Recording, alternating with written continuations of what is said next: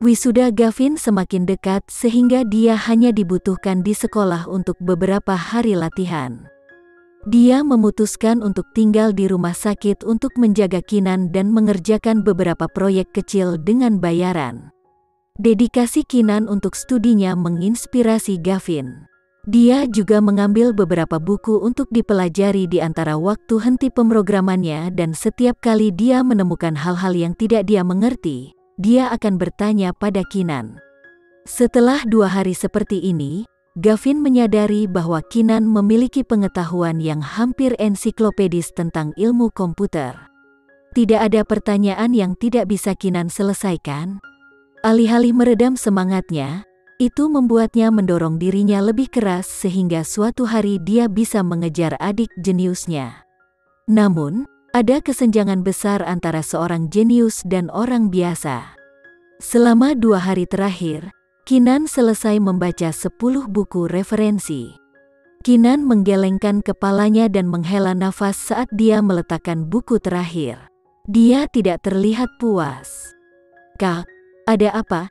Gavin bertanya, apa ada yang salah dengan buku-buku ini? Tidak, tidak ada yang salah dengan buku-bukunya. Hanya saja ini semua adalah buku pelajaran untuk siswa pemrograman. Apakah sekolahmu memiliki sesuatu untuk para profesional? Kinan bertanya. Gavin cemberut dan berkata, ini adalah bacaan yang direkomendasikan oleh profesorku dan aku bahkan tidak bisa memahami setengahnya. Kak, kamu benar-benar jenius. Pada akhirnya, ini dimaksudkan untuk membaca di kelas, informasi yang diberikan hanya pada tingkat dasar. Apakah kamu memiliki tempat dalam pikiran di mana kamu dapat meminjam buku tentang topik ini selain perpustakaan sekolahmu? Gavin memikirkannya dan berkata, bagaimana dengan seniorku? Dia direktur perusahaan IT, aku yakin dia memiliki beberapa literatur yang lebih setingkat denganmu. Itu bukan ide yang buruk, Kinan setuju. Oke, Aku akan pergi mencarinya sekarang. Gavin tahu kakaknya Kinan sangat ingin mendapatkan materi baru, jadi dia segera bertindak. Gavin memanggil seniornya, Ferdi Winata, untuk menyatakan niatnya. Ferdi langsung setuju dan meminta Gavin untuk menemuinya di perusahaannya. Gavin bergegas ke perusahaannya. Dia akan meminta resepsionis untuk mengirim pesan ke Ferdi ketika Ferdi keluar dari lift. Gavin, panggil Ferdi. Gavin menoleh ke sumber suara. Senior, katanya dengan senyum yang terhenti di wajahnya saat melihat pria yang menemani Ferdi. Pria itu memiliki kehadiran yang mendominasi yang sulit untuk diabaikan. Meskipun Gavin tidak bertemu dengannya selama beberapa tahun, dia langsung mengenalinya. Itu, Vano Dirgantara. Mengikuti di belakangnya adalah asistennya, Kenzo yang baru saja dia temui beberapa hari yang lalu. Vano melihat remaja kurus itu sekali lagi. Dia merasa remaja itu terlihat cukup akrab. Jalan mereka hanya bersilangan sekali, yaitu selama pernikahannya dengan Kinan. Gavin telah tumbuh dalam beberapa tahun terakhir sehingga wajar jika Vano tidak dapat mengidentifikasinya secara langsung. Kenzo, bagaimanapun, mengenalinya hanya dengan satu pandangan. Ferdi mendekati Gavin, tertawa sambil berkata, waktumu selalu sempurna. Gavin mengabaikan Vano dan fokus pada Ferdi. Senior, terima kasih banyak atas bantuan Anda. Saya tidak dapat menemukan yang lebih baik di luar sana, jadi saya harus meminjam dari perpustakaan pribadi Anda. Ferdi menjawab, Aku akan meminjamkanmu lebih cepat jika kamu hanya meminta. Tetapi aku harus mengatakan, aku tidak berpikir kamu akan membutuhkan bahan bacaan ini dalam waktu dekat. Buku-buku itu memang terlalu canggih untuk level Gavin saat ini. Gavin tahu dia harus berterus terang, jadi dia berkata, ini bukan untukku, tapi temanku. Dia sangat baik sehingga dia tidak memperhatikan apa pun selain yang terbaik. Ferdi yang terkejut menjawab, siapa temanmu ini? Apakah orang yang sama yang menulis minigame ini? Ya, itu dia. Siapa orang ini? Kamu harus memperkenalkannya padaku suatu hari nanti, kata Ferdi. Dia tertarik dengan identitas misterius teman Gavin ini.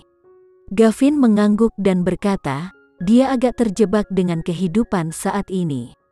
Saya pasti akan membuat perkenalan ketika ada kesempatan. Baiklah, aku akan menepati janjimu. Ini buku yang kamu inginkan. Kembalikan padaku jika dia sudah selesai dengan bacaannya, kata Ferdi sambil menyerahkan tas yang dipegangnya ke Gavin. Terima kasih, senior. Aku akan pergi sekarang. Gavin menerima tas itu dan pergi dengan tergesa-gesa. Gavin, tunggu. Ferdi memanggilnya tapi dia sudah pergi. Ferdi ingin mengenalkannya pada Vano. Ferdi berkata dengan agak marah, Anak-anak muda akhir-akhir ini selalu bergegas ke suatu tempat. Tidak bisakah dia mengenali CEO terkenal Tuan Vano? Vano bertanya dengan acuh tak acuh, siapa pria itu? Itu junior saya dari sekolah, orang yang baik dan cukup berbakat. Saya berniat untuk membiarkan dia bergabung dengan perusahaan kami karena saya dapat melihat dia akan menjadi aset berharga setelah beberapa pelatihan. Dia terlihat sangat familiar. Kenzo mengambil jeda dalam percakapan mereka untuk batuk ringan dan berbisik kepada Vano. CEO Vano, itu Gavin. Gavin, Vano merenungkan nama yang dia dengar sebelumnya. Dia sepupu Nona Kinan. Semuanya diklik secara instan. Itu benar-benar kebetulan yang luar biasa. Ferdi mendengar percakapan mereka jadi dia bertanya, Siapa Nona Kinan? Dan bagaimana kamu mengenal Gavin? Saya kira Anda dapat mengatakan bahwa kami agak terkait, tetapi saya tidak berharap Anda berdua saling mengenal juga. Ferdi tahu di mana harus menarik garis sehingga dia menyimpulkan, ini memang dunia kecil.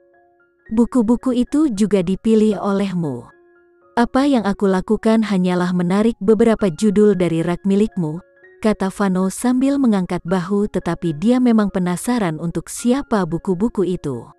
Itu adalah beberapa buku yang lebih sulit dalam koleksi Verdi. Bisa dibilang dia agak jengkel saat melakukan seleksi. Dia awalnya pergi mencari Verdi, tetapi yang terakhir mengatakan dia membutuhkan waktu untuk menyelesaikan sebuah proyek sehingga dia meninggalkannya dengan sebuah permintaan sementara Ferdi pergi untuk menyelesaikan pekerjaannya. Karena CEO Vano sangat banyak membaca, saya yakin junior saya yang ingin tahu dapat mengambil banyak manfaat dari pemilihan CEO Vano yang cermat, adalah kata-katanya yang tepat. Teman lamanya ini tidak pernah malu untuk menyuruhnya berkeliling. Sebagai imbalannya, dia memilih gelar paling sulit yang bisa dia temukan. Ferdi takut Gavin tidak akan bisa memahami buku-buku ini, tapi Gavin sendiri secara khusus menyebutkan bahwa dia membutuhkan gelar tersulit yang dia miliki. Ferdi terkejut bahwa Gavin telah meningkat pesat dalam waktu yang singkat. Dia tidak tahu dia meminjamnya untuk orang lain. Kau mendengar percakapanku dengannya kan? Buku-buku itu untuk temannya itu, kata Ferdi kepada Vano. Vano mengangguk ketika dia menjawab, orang yang kamu sebutkan yang memiliki keterampilan pengkodean yang sempurna? Memang, itu hanya untuk mini game tetapi kamu bisa melihat kemahiran programmer. Kamu sendiri telah melihatnya, bukankah itu salah satu karya terbaik yang pernah kamu lihat? Kamu benar, tapi itu hanya beberapa baris kode. Kamu mungkin melebih-lebihkan programmer, ada lebih banyak pemrograman daripada penulisan kode. Vano menawarkan, bagaimanapun, aku akan membiarkan peningkatan sistem keamanan di tanganmu. Selesaikan sebelum kompetisi peretas. Jangan khawatir, itu spesialisasi kami. Saya akan bekerja lembur untuk memastikan sistem ditingkatkan sebelum kompetisi, kata Ferdi serius. Vano mengangguk sebelum pergi. Ferdi bergegas kembali bekerja. Dia meramalkan banyak malam tanpa tidur di masa depan karena meskipun pembaruan sistem terdengar sederhana di atas kertas, itu sebenarnya cukup rumit. Ini karena sistem baru dikembangkan dengan tujuan untuk menahan serangan peretasan yang disengaja. Itulah inti dari kompetisi peretas dan dia mendengar bahwa para peretas yang terlibat tahun ini lebih baik daripada tahun-tahun sebelumnya.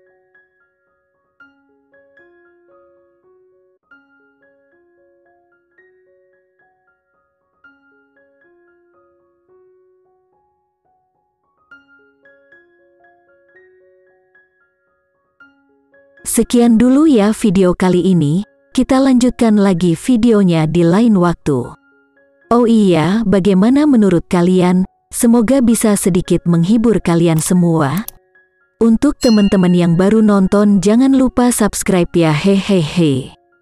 Dan kalau teman-teman ada yang ingin gabung langganan bisa langsung gabung saja untuk dapat fitur yang menarik dan sedikit membantu Mimin.